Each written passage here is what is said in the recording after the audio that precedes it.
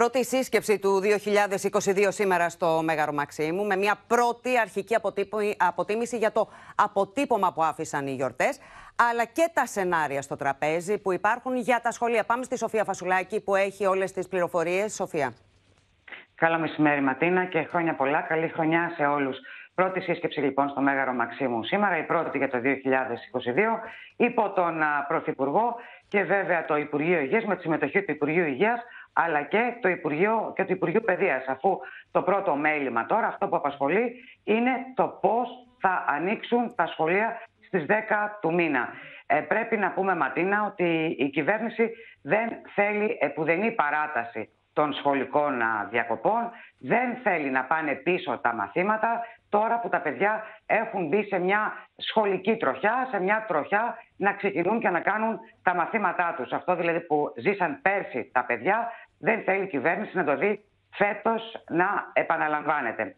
Ε, αυτό το κρατούμε ως στοιχείο. Βέβαια θα πρέπει αύριο αφού συνεδριάσει η, η Επιτροπή ε, και δουν τα κρούσματα ε, που θα αύριο πιθανώς ο αριθμός τους να είναι πολύ μεγαλύτερος από αυτόν που είδαμε την Κυριακή ή που θα δούμε και σήμερα, θα λάβει τις ε, περαιτέρω αποφάσεις ή την Τετάρτη ή το αργότερο την Πέμπτη για το πώς τελικά και αν θα ανοίξουν τα σχολεία. Θα πρέπει να σου πω Σοφία, ότι... στην κυβέρνηση συζητούν γενικότερα πέραν των, ε, των σχολείων για νέα μέτρα; Ε, τα νέα μέτρα είναι το δεύτερο κεφάλαιο. Πάμε να δούμε πώς θα ανοίξουν τα σχολεία, Ματίνα, και τα ναι. σενάρια που ε, επεξεργάζονται η κυβέρνηση και οι ειδικοί. Ε, για το άνοιγμα των σχολείων, λοιπόν, τι, ποια μέτρα έχουν πέσει στο τραπέζι και ποιες είναι οι σκέψεις για το πώς μπορούν να ανοίξουν τα σχολεία με μεγαλύτερη ασφάλεια. Ναι. Καταρχήν, να γίνονται περισσότερα τεστ. Αντί δύο που γίνονται τώρα, να γίνουν τρία τα τεστ. Να γίνει πιο αυστηρό το πρωτόκολλο ε, στην, για την περίπτωση που θα πρέπει να κλείσει ένα τμήμα.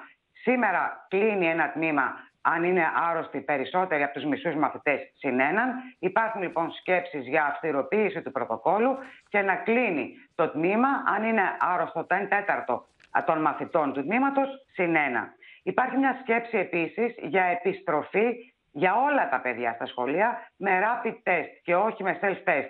Αυτό βέβαια να δούμε αν υπάρχει η δυνατότητα να γίνει Ματίνα, γιατί όπως καταλαβαίνεις ε, σιγά σιγά υπάρχει και ένα θέμα με το απόθεμα των rapid test. Επίσης υπάρχουν σκέψεις για κατάργηση του σταυρού, δηλαδή να μην κάνουν τεστ μόνο τα παιδιά που κάθονται μπροστά πίσω και στο πλάι από ένα κρούσμα, αλλά να κάνουν τεστ όλα τα παιδιά. Αυτά είναι λοιπόν τα σενάρια που επεξεργάζονται κυβέρνηση και ειδικοί και Υπουργείο Παιδείας για το άνοιγμα των σχολείων. Με στόχο να, συνεχιστεί η σχολική κανονικότητα, αυτό που έχουμε δει δηλαδή μέχρι, μέχρι τώρα. Ακριβώς. Αυτός είναι ο στόχος. Ε, ωστόσο, όσον αφορά τώρα το αν θα έχουμε περισσότερα μέτρα ή αν αυτά που ήδη έχουμε σήμερα θα παραταθούν και μετά τις 16 Ιανουαρίου, ε, θα το δούμε στο τέλος της εβδομάδας και αφού βέβαια ε, αποτυπωθεί η, η κίνηση, το πώς πήγε, το πώς πήγαν οι γιορτές της πρωτοχρονιάς. Ε, νομίζω ότι εάν δούμε ε, αυξητική, εκθετική αύξηση των κρουσμάτων και βέβαια πολύ πιο πολλές νοσηλίες ή διασωληνωμένους, τότε ένα είναι βέβαιο ότι τα μέτρα αυτά θα παραταθούν και μετά τις 16 Ιανουαρίου. Το ερώτημα είναι αν θα ληφθούν και νέα πριν τις 16 Ιανουαρίου, πέραν δηλαδή από αυτόν που ήδη γνωρίζουμε σήμερα.